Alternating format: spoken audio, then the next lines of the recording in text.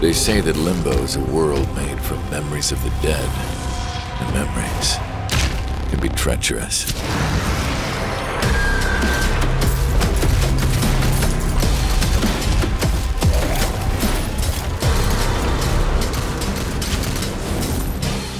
Sometimes I only see glimpses of mine, and sometimes I remember too much.